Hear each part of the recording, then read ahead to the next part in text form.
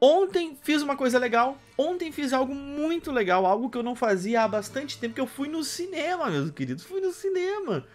Fui no cinema olhar o filme do Super Mario Bros, cara. As minhas filhas, eu tenho. Vocês estão vendo que tem alguns jogos da Nintendo aqui, né? Mas eu acostumei elas desde muito, mas muito cedo, jogar os jogos do Mario, né?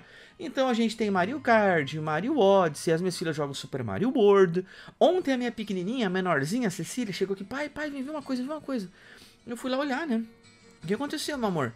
Passei essa fase sozinha. Ela tava jogando Super Mario World e passou a primeira fase sozinha. Eu falei, olha, meu amor, que parabéns. Ficou toda faceira, ficou toda faceira. Né? Mas então as minhas filhas já a gente joga Mario Party. Então elas conhecem um pouco do universo do Mario. Já jogaram diversos jogos, conhecem o Mario, o Mario Rabbids, elas jogam também. Aqueles Marios que tem na Nintendo ali, ah, que tem ali vários jogos da Nintendo, do, do, que tu paga né, na Nintendo ali, tem vários jogos do Mario mais antigo, então elas conhecem um pouco daqueles jogos e tudo mais, né? E a gente foi olhar o jogo, a gente foi olhar o filme do Mario, cara, e foi uma grata surpresa, cara. Uma grata surpresa. Se vocês têm filhos pequenos em casa ou que conhecem um pouquinho do Mario, podem olhar, o filme é bem bacana, cara. Gostei bastante, eu não vou passar spoilers aqui nem nada, né, mas gostei bastante do filme porque o Mario é obviamente o personagem principal, dá nome ao filme, mas a Peach tem uma participação absurda no filme, né? Tão grande quanto, eu diria que ambos os personagens, tanto a Princesa Peach quanto o Mario, são ali, trocam 50 a 50% da tela praticamente. E isso para mim foi muito interessante. Eu tenho duas filhas pequenas, duas filhas, duas meninas, né? Entendeu? Então para elas ver aquele exemplo, ver aquele exemplo ali de da Peach querer lutar e querer brigar e ser, sabe? Ela tá sempre assim: "Não, vamos lá, vamos enfrentar, vamos fazer, vamos negócio".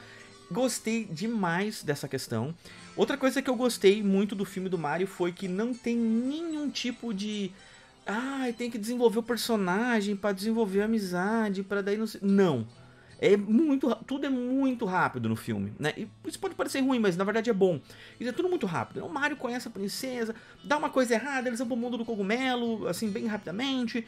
E eles querem se provar que eles são super massa, o Luigi se perde, entendeu? E aí o isso tem tudo trailer, tá?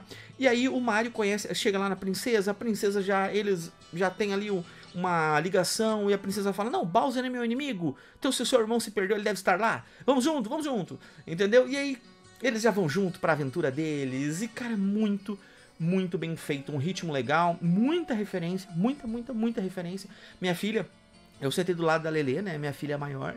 E tem 7 anos, ela ficou me puxando, pai, igual o jogo, igual o jogo, pai. Nossa, pai, igual o jogo. Sabe? É muita coisa legal. As, tem, tem, tem, um ponto ruim, eu vou falar mais daqui a pouquinho, né? Mas, cara, muito divertido, cara. A única parte ruim de ir no cinema é quando tu é estuprado, né? Na hora de tu comprar pipoca, né, cara? Eu fui lá comprar pipoca, aí tinha o balde do Mario, né? O balde do Mario e o, e o copo do Mario. Aí eu falei, não, eu quero o copo e o balde, né? Eu falei pra minha esposa, pega um copo e pega um balde, para nós guardar até ali como com um totem de, de quando a família inteira foi no cinema, né? Porque eu não costumo ir. Eu levo a minha esposa, geralmente só vai ela e a Lele. Eu fico com a Cecília em casa jogando videogame fazendo alguma outra coisa, porque ela era muito pequena até então para ir nos outros filmes da Frozen e tudo mais que teve. Então eu ficava em casa com a Cecília jogando videogame, minha mulher ia, levava ela lá, buscava ela depois e tal. Dessa vez foi toda a família, né? Eu falei, não, quero dois, quero, quero, pega um copo e pego um negócio. E aí eu fiquei na fila já para pegar pipoca, enquanto minha mulher tem que ficar. Cara, outra coisa que não dá pra entender no cinema, né? Tu, tu entra na fila para comprar a pipoca. Aí tu tem que pegar o negócio que tu comprou a pipoca, pegar uma outra fila, Daí tu vai lá, tem três filas. Tem a fila de quem comprou no app, a fila de quem quer só retirar, a fila de quem comprou ali. Eu falei, cara, porque tem literalmente quatro filas no, no pra, só pra pegar a pipoca, né? Aí eu tava lá na fila, chegou minha mulher e falou assim: Nossa, amor, é, é, comprei, né? Comprou o balde e o copo, né? Daí eu cheguei, não, pegou, pegou dois, dois, dois balde de pipoca, porque um pessoal, uh, duas filhas, as minhas duas filhas queriam de chocolate e eu queria de caramelo. Eu falei, não, pega dois, dois balde, né? Pega balde e o copo. 160 reais. 160 reais. O combo, aquele que tu. Aquele combo que tu ganha o balde, 100, 80 reais. Aí eu queria, eu queria. Como eu queria um combo do balde, 80. Como eu queria o combo do copo, mais 80. 160. Isso a pipoca tem mais a entrada. Tem, Tem, tem mais a entrada do cinema. Só que a minha esposa ali tem um cartão de crédito que ela pagava meia. Né? Então eu paguei a minha cheia, a da minha esposa meia e minhas duas pequenas, duas mais duas meses. Então eu paguei três meses e uma inteira. Já deu 130. 130 mais 160. Trezentinho. 300 reais. Essa, essa, essa experiência, trezentão. Eu falei, nossa, parece que a pipoca é de picanha. É pipoca de picanha ou não? Né? Mas então, vamos lá. É, tudo bem. É uma coisa que a gente vai fazer a cada seis meses ou uma vez por ano. Então, ok, né? Já tava lá. Quando a minha mulher falou que pagou 160, eu não sabia, eu não tinha ideia de quanto que ia ser. Se me falasse que era 80 pilos dois, eu já ia ficar puto. Né? Mas minha mulher chegou lá e falou pra mim, como eu já tava na fila, né? Pré-emptiva, né? A, a, fila para pegar pipoca. Aí eu, cara, ela me falou assim, ela me falou assim, deu 160 isso aqui. Eu, hum, me baixou a pressão, sabe? Eu tenho ansiedade, né? Eu tenho ansiedade, me baixou a pressão, me deu uma falta de ar, um negócio. E tu, tem, tu não pode demonstrar fraqueza, né? Nesses momentos, o pai, nesses momentos, o pai, o macho alfa, né, mig tal, ele precisa chegar ali e mostrar que é pau-ferro. Engoli seco, fiz como um bom macho, um bom macho alfa. Engoli seco. E não, tudo bem, meu amor, tudo bem. E já entrei no filme com aquele retrogosto de merda, né? Mas o filme foi uma experiência realmente muito legal, uma experiência realmente muito boa. Único ponto negativo do filme, né? A Nintendo tem músicas muito legais. Então, dá assim umas mini, mini musiquinhas da Nintendo, assim, quando tá, tá a câmera tá subindo para mostrar o Reino Cogumelo. Vai subindo aquela música da Nintendo, de algum jogo do Mario. E tu, nossa, sabe, que você ia se arrepiar, assim, de, de, de, de nossa, nostalgia total, né? Tipo, o David Jones deve ter sentido muita nostalgia nesse filme. Né? Então, tipo, sobe aquela nostalgia, assim, sabe? E dá aquela chamadinha do, do Mario, sabe? De, daqui a pouco eles estão fazendo uma outra coisa de aventura, dá uma outra musiquinha do Mario. Mas eu não gostei porque tem, tem umas músicas completamente desnecessárias, tá ligado? Tipo assim, tem uma hora que a princesa Peach vai lutar, aí dá a música do Kill Bill, tá ligado? Dá a música do, do Kill Bill lá, sabe? Deu. Pra, pra quê? Por, por que a música do Kill Bill? Por que não botaram uma música do Mario? Por que não botaram uma música da Nintendo? Que a Nintendo é dona. Tá ligado? Daí, acho que toca Thunderstroke também. Toca, toca umas músicas assim que, ao meu ver, não, não, não, não combam legal com o filme, tá ligado? É o meu único ponto negativo do filme é que tem algumas músicas que parecem. Beleza, eu entendo aquelas músicas, eu conheço aquelas músicas, tá ligado? Pra mim foi legal ter visto, visto aquelas músicas.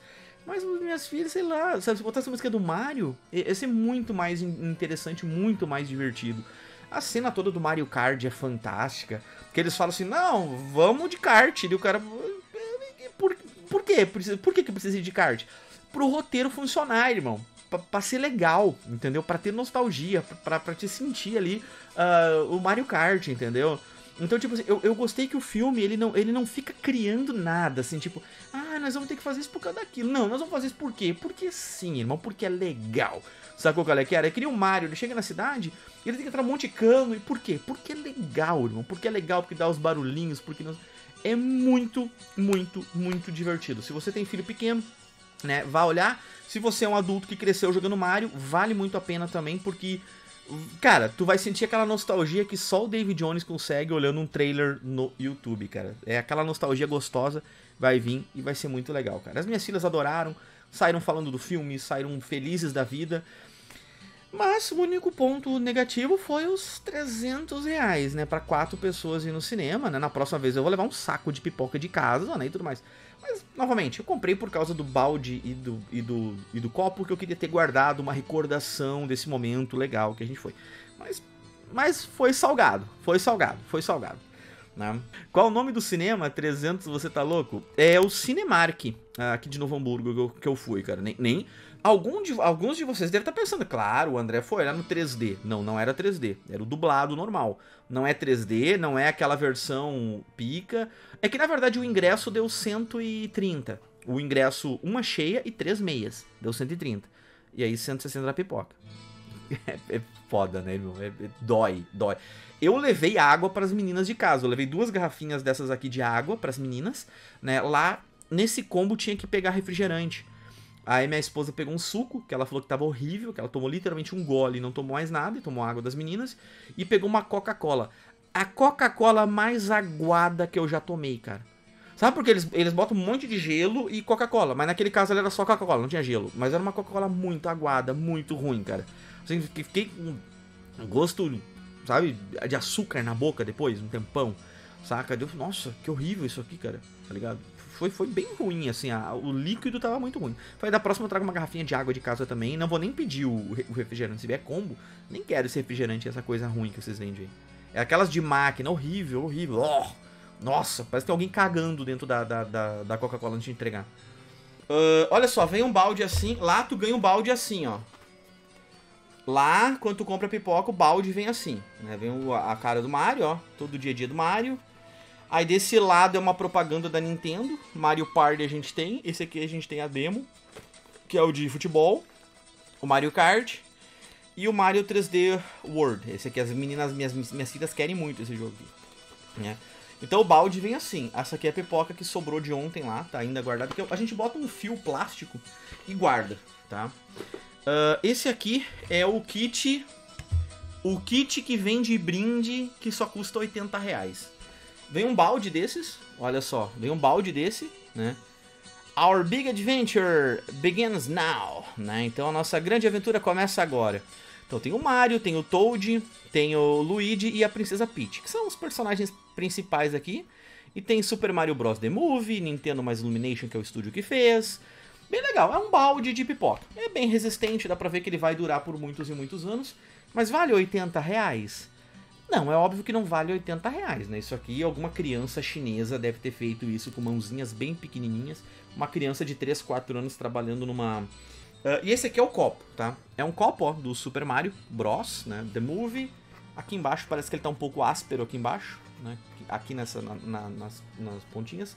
Mas é o Mario Luigi, né? Pulando e tudo mais. É um, Mario, é um, é um copo legal. A, a, tampa é bem fixa. A tampa, a tampa ela fecha bem.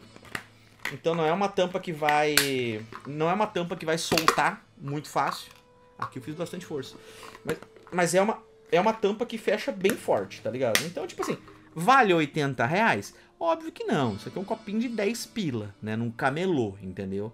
Mas é como eu falei para vocês. Comprei por um totem, né? Por uma representação de quando a gente foi com a família inteira no cinema, entendeu?